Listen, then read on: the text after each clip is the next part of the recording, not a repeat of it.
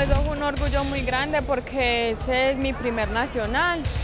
Entonces fue un orgullo muy grande, me, me sentí como una guerrera y como dice mi mamá, para adelante es para allá y hay que seguir luchando para alcanzar la meta que uno quiere.